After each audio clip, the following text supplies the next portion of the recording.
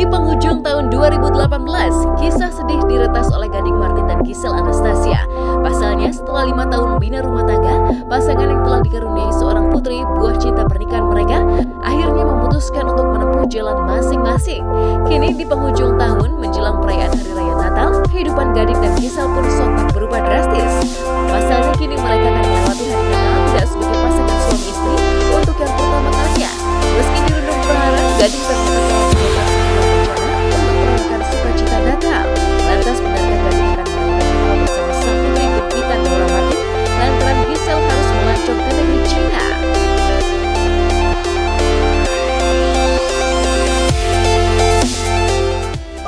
kebetulan ke Cina, tapi berarti saya sama Gempi. Gempi akan ikut kita ke Gisel kebetulan ada ada kerjaan di Cina. Oh iya nggak nggak disengaja. kan kita nggak tahu Natal. Kita aja besok nggak tahu mau ngapain. Jadi ya kita kan kadang-kadang punya rencana sebulan dua bulan tapi kan rencana bisa berencana Tuhan kan yang nentuin nantinya mau gimana kita Natal biasa di rumah ya pak kumpul ya nongkrong aja Nongkrong di aja. doa biasanya memang 24 malam selalu ke gereja dulu kebetulan gereja kan di rumah papa. Kita punya gereja di situ. Ya 25 biasanya kumpul sama kakak-kakak keluarga ponakan cucu-cucu itu kumpul tukar kado. Biasanya sih seperti itu. Udah selesai udah beres baru bisa relax kita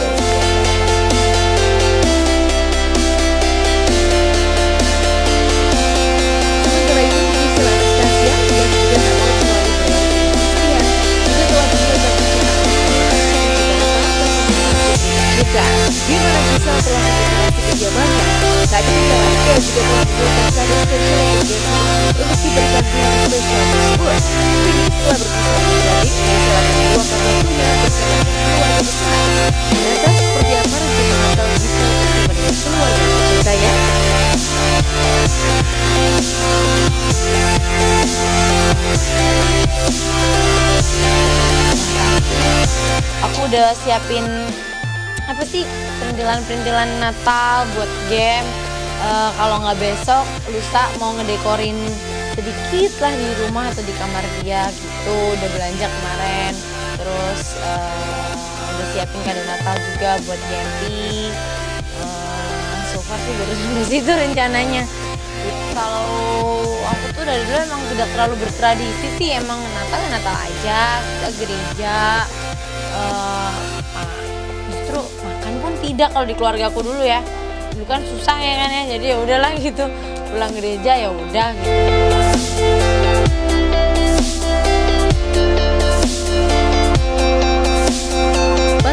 tahun merayakan Natal sebagai sepasang suami istri, tahun ini menjadi momen yang memiliki dampak cukup besar bagi kehidupan Gading dan Gisel. Dikenal sebagai pasangan yang penuh keharmonisan, bersama Gempi, mereka memang kerap memamerkan kebersamaan dengan melakukan berbagai kegiatan seperti berlibur bersama. Dan kini semua momen-momen indah tersebut seakan telah sirna. Namun benarkah Gading justru merasa santai menjalani Natal pertama tanpa kehadiran Gisel? Iya. Tapi kan dulu dulu sebelum kawin juga ada Natal Natal nggak sama Gisel. Jadi sekarang ada keluarga, ada anak, tetap tetap harus dirayakan dengan sukacita ya. Iya. Jadi juga dengan The new me. duren Duren. duda keren Cek, gimana cek? Kok bisa pas bang? Kita makan durian bang. Iya iya pasti dibanding dengan Natal yang tahun lalu kan pasti beda banget. Cuman ya kita jangan berlarut dalam kesedihan itu kan harus you only live once, you have to move on and life goes on. Harus di harus dijalanin. Iya, yang pasti orang kan nggak gampang menghadapi perceraian, orang kan nggak gampang menghadapi. Semua orang juga pasti yang menikah nggak pingin cerai pastinya. Pasti kan nggak gampang menghadapi ini semua, belum belum eh, ya mungkin dengan pertanyaan-pertanyaan yang aneh-aneh dari wartawan, mungkin dari netizen juga banyak ngomong apa ngomong apa ya masing-masing orang kan eh, cara menghadapi masalahnya beda-beda gitu. Saya beda, gitu beda, mungkin anda juga beda. Itu sangat wajar orang meng- menghadapi pertanyaan sedih itu sangat wajar. Oh itu sentuh, cuman kan semua orang nggak perlu tahu, nggak perlu saya tunjukin kan. Sementara itu perasaan serupa juga menghinggapi diri Gisel saat mengenang perayaan Natal di tahun-tahun sebelumnya. Namun bagi Gisel, sukacita Gempi merasakan kehangatan di momen spesial tersebut adalah hal yang harus diutamakan. Karena itulah ia bahkan memutuskan akan menemani Gempi merayakan Natal dengan keluarga Gading jika tak ada halangan di kemudian hari. Namun benarkah Gisel justru telah memiliki rencana untuk melakukan perjalanan liburan usai perayaan Hari Raya Natal? Nggak mesti sih, nggak mesti juga loh kadang-kadang cuman eh, tahun ini kayaknya kita nggak ada liburan, belum tahu mau gimana, belum belum terus terang belum ada rencana mau ke depan apa segala macam belum ditata. Nah, kalau kemarin-kemarin sih biasanya ada tukar kado gitu keluarga besar, mas gitu ya. Ya kalau sekarang ya mungkin kalau memang nggak ada halangan, nggak ada hmm, apa-apa misalnya ini ya aku mungkin ikut nemenin Gempi mungkin mungkin bisa jadi Natalan di tempat keluarga besar Mas juga mungkin kalau emang aku nggak nggak ada isi ya, kegiatan yang lain gitu. Ya nggak apa-apa yang penting tetap merasakan Natalnya Gempinya gitu. Iya dia nggak sih dia nggak ada request aneh-aneh. Makanya tadi pas mau beli aduh lupa nanya dia mintanya apa gitu. Jadi tadi dibeliin aja yang kira-kira eh, dia suka gitu. Karena dia basically anaknya kan baik ya semua juga dia mau mau aja mainan gitu.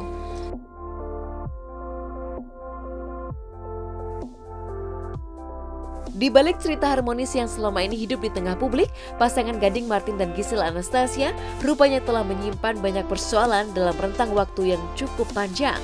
Semua persoalan itu pun berbuntut gugatan cerai yang dilayangkan Gisel ke Pengadilan Negeri Jakarta Selatan pada 19 November 2018. Pada sidang perdana perceraian mereka tanggal 5 Desember 2018 lalu, pihak pengacara Gisel memastikan bahwa Gading tidak akan pernah menghadiri sidang karena mentargetkan keputusan first take alias vonis cerai tanpa dihadiri oleh pihak tergugat alias Gading Martin. Itu pula yang terlihat pada proses sidang perceraian kedua mereka, di mana Gading juga tak hadir dalam proses mediasi.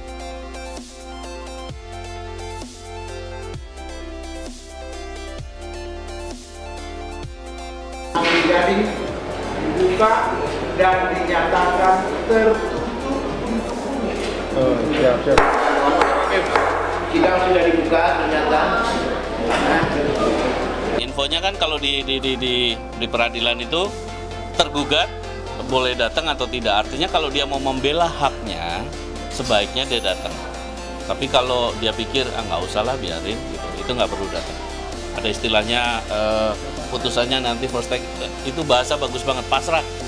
Kayaknya dua-duanya pengen cepat selesai ya. Pendapat saya sih udah tidak penting lagi. Saya juga udah nggak saran, tapi apa pun keputusan mereka karena ini hidup ya gading, saya pasti support. Support dan tanda kutip bahwa bukan perceraiannya tapi apa ya penyelesaian dari sebuah apa kehidupan keluarga yang mereka mau selesai ya harus apa pun keputusannya ya saya harus support. Iya kan dia syuting di sini. Kan udah ada pengacaranya kan. Hanya menghebohkan, perceraian Gading dan Gisel juga menyimpan sejumlah teka-teki yang muncul di benak banyak orang. Di balik sejumlah kabar keretakan rumah tangga mereka, secara tegas baik Gading maupun Gisel sama-sama membantah kabar orang ketiga hingga urusan finansial yang sempat santer disebut sebagai dalam perceraian mereka. Seiring keputusan berpisah, Gading dan Gisel mencetuskan beberapa kesepakatan. Saya sebagai orang tua sedih iya. Ah, tapi apa pun keputusan mereka harus saya hormati bahwa itu tidak sangat tidak mengenakan ya tapi sebuah keputusan sudah diambil mereka berdua mereka berhak untuk menentukan hidupnya masing-masing saya kira ya ya setuju atau tidak setuju mau atau tidak mau itulah yang sudah terjadi. Cinta tak pernah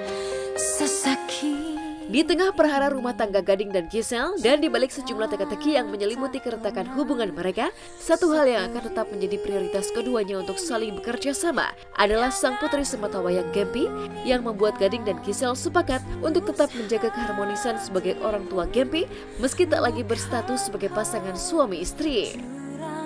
Oh enggak kan saya punya saya ada rumah di Andara. Eh, nanti Gisel akan sama Gempi akan tinggal di Remboa. Cuman si si Gempi teman-temannya semua di Andara, Rafathar semua tuh dia suka banget tinggal di Rem- di Andara karena banyak teman-temannya. Jadi nggak masalah eh, Gempi akan di mana, toh yang ya yang satu tinggal sama bapaknya satu tinggal sama ibunya. Kapan pun kita mau ketemu boleh. Kau yang telah memilih aku. Kau juga yang sakiti Penghujung tahun 2018 menjadi sebuah momen titik balik dalam kehidupan Gading Martin dan Gisel Anastasia. Sejumlah rencana kebersamaan yang telah mereka rangkai nampaknya tak akan terwujud sebagaimana yang didambakan.